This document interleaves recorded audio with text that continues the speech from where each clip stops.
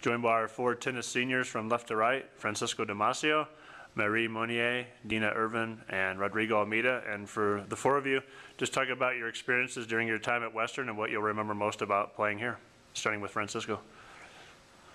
Well, it's been a fun five years. Yeah, five years with that cross country season in the middle. It changed my it changed my whole game. I became I think I became a way better tennis player after after I ran that season of uh, track. And I have to thank uh, Coach Campos a lot for giving me the opportunity and teaching me all he taught. Thanks, Coach. Uh, you're an important part in my life.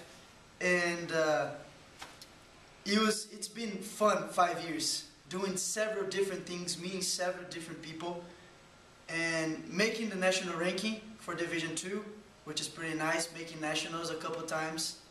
It's been it's been a really really fun five years. Okay, so to me it's a little bit different. it's been only a, year and a half, but I learned a lot here. I met amazing people, so many different culture. I really appreciate that.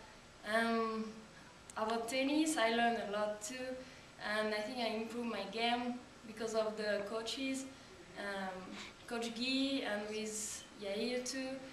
It was amazing. We had a tough year, but we're gonna do hopefully great this season, this the end of this season.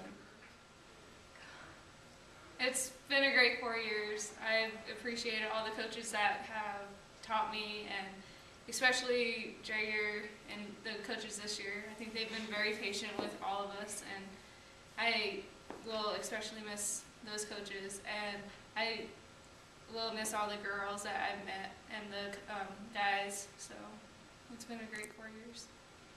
Well, same for me. Uh, I can only thank everyone that I've met and uh, that was part of um, my life here in the United States.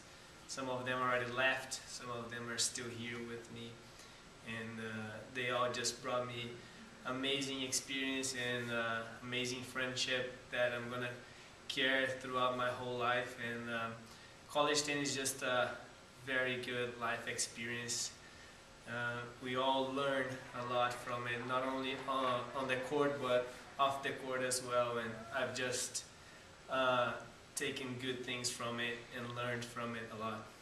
Okay, thank you all for your time.